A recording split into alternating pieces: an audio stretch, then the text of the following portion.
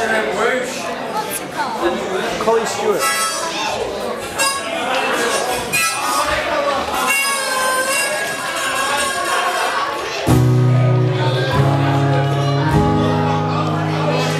This is a song that Kris Coulton and I wrote. For emotion.